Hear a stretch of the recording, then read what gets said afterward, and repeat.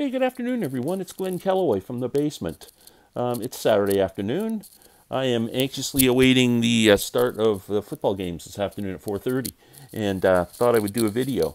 I was just watching uh, Larry Graves, the Canadian stud muffin, just uh, uploaded a video on his uh, really cool series he does called Stack One versus Stack Two. Um, I am uh, gonna so go over to Larry's and watch that because I know you will. Um, I'm going to steal Larry's idea, just on a one-off. I'm going to do a stack one stack versus stack two. Uh, I'm doing this to get even with Larry because he's stolen a bunch of my ideas. You guys probably aren't aware. Like, for instance, he stole my idea for. Uh,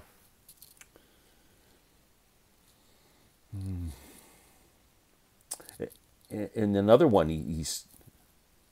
Yeah, he, st- he stole this.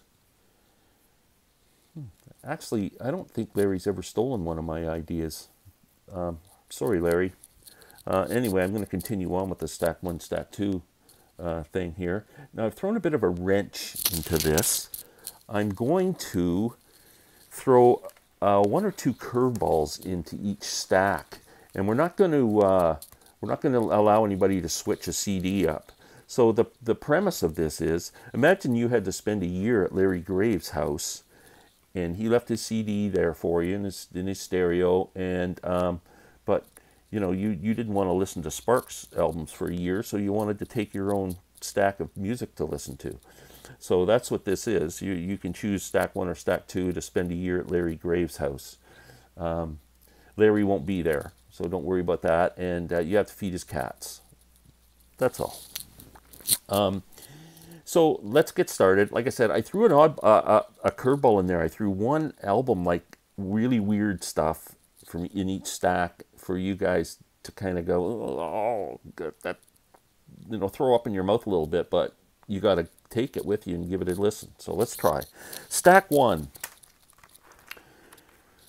Joni Mitchell, Blue. This is probably Joni's, arguably her best album. Um, I think her most successful, at least one of them. So Joni Mitchell, Blue, great record. Dire Straits debut album with Sultans of Swing on it and everything. I love this album. It's great. Dire Straits.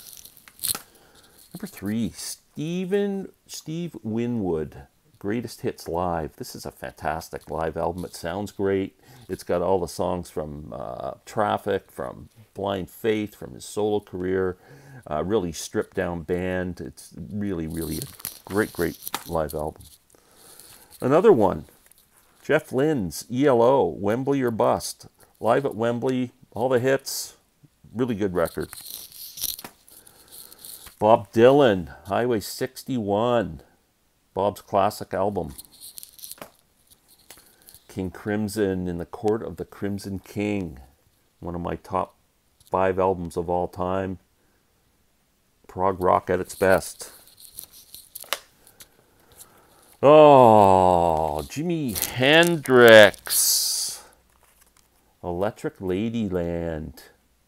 Love Jimi. That's a great album. Jimi's masterpiece, as far as I'm concerned. Grateful Dead. American Beauty. It's got my favorite song of all time on it, Ripple. The Kinks. Village Green Society, my favorite Kinks album.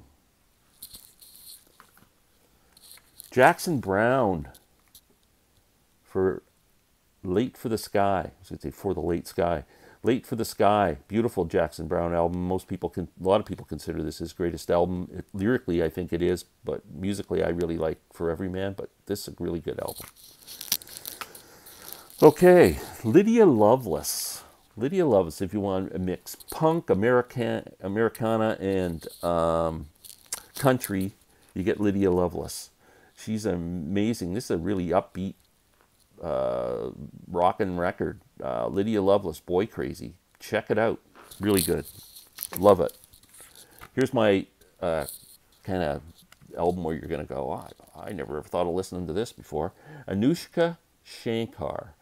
This is Ravi Shankar's daughter. She plays the sit sitar as well. Great musician. Um, Anoushka has tried to bring the sitar into uh, more uh, pop type music in some cases. She still does the you know traditional Indian music and stuff, but she tries to make some albums that where, where it's more accessible for people, and this is one of them. It has Norah Jones actually singing on a couple of tracks, who's uh, their sisters that both share their father Ravi, and uh, yeah, so um, Nushka Shankar, that's my weird one that you got to take. There's no switching CDs here. You go to Larry's house with stack one or stack two. So stack two, The Who, Tommy, what else can be said? You just have to say Tommy and you know it's great. Every week, Larry and I do a live chat, and every week we get asked the same question Do you guys like Steely Dan? Well, Steely Dan Aja is my favorite Steely Dan album, so I'm throwing it in there just um, out of respect for all the people that ask us about Steely Dan. Lana Del Rey. Anybody familiar with this woman over the last few years? She's put out some great albums, and this is my favorite. Excuse my language, but this the title of this album is Norman fucking Rockwell. That's what it's called. They shortened it to MNFR. Um, this is a great singer songwriter. She writes amazing lyrics, great vocals, um, musically really good. Just a really, really outstanding record. Lana Del Rey. Ah, Rush. We go from Lana Del Rey to Rush. Moving Pictures. My favorite Rush album. The Boss. Bruce Springsteen in the new release. Bruce Springsteen and the E Street Band, the No Nukes concert. Legendary concert. E Street Band at their best. Fantastic live album. You don't like Dylan out of stack two or one, I mean. Maybe you like Donovan. Donovan's greatest hits. Look, this guy was a hit monster, man. Mellow Yellow, Hurdy Gurdy Man, Catch the Wind, Sunshine Superman, There Is a Mountain, Jennifer Juniper, Wear Your Love Like Heaven, Season of the Witch, Atlantis. I mean, come on. Fantastic. Miles Davis, Bitches Brew, Jazz Fusion at its best. Great album with John McLaughlin. Uriah Heep, Look at Yourself. Look at yourself. Love that album. Rolling Stones, Sticky Fingers. We had the Kinks in one pile. Had to put some more English stuff in this next pile. Johnny Cash. This is a fairly recent release. Johnny Cash from the Bear Sonic Journals. Bear is uh, Owsley uh, who did all the sound for the Grateful Dead back in the day and a lot of San Francisco shows. They're finding all his tapes that he's uh, he kept all his sound uh, sound uh, tapes and um, these are uh, this one's Johnny Cash April 24th 1968 really good really good Tom Petty Wildflowers my favorite Tom Petty album you belong in the wildflowers.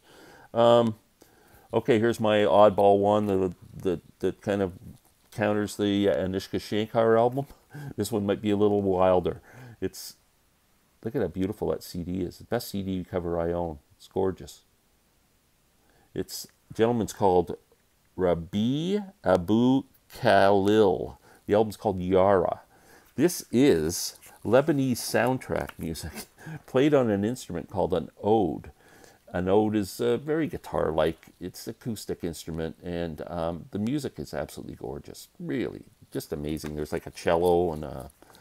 Um, I don't know if it gives you the the lineup. But anyway, it's it's a beautiful album. It really is. nothing to be scared of. It's really good. Um, yeah, check that one out. So that's my two stacks. So remember, year at Larry Graves' house, he leaves you his stereo, you got to feed his cats, and you don't have to listen to Sparks records. It's a win-win. And if you're lucky, if you keep the cats well fed, they won't scratch you.